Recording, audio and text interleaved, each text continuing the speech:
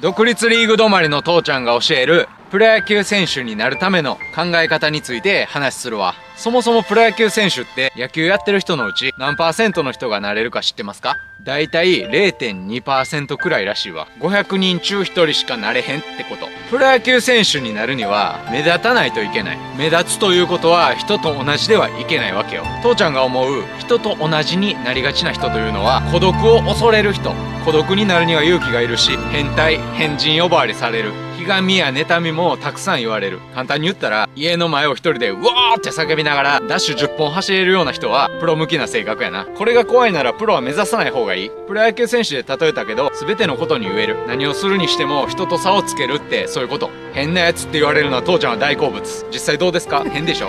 今この撮影って朝6時に一人で山の中で撮影してるんやで。500人に1人の逸材やろ。生き方は人それぞれ。プロになれれば偉いわけではない。ただ人と異なりたい父ちゃんみたいな変態志願者は変な人を目指せ。って言うと勘違いして自分本位な考え方の変になる人がいるんやけどそれは応援されないってことを父ちゃんは最近学んだ。ちゃんと人のためになっているか。例えば素振りを1000日続ける。変態やんな。でもそのおかげでチームに貢献できたり親が喜んでくれるわけ。以上。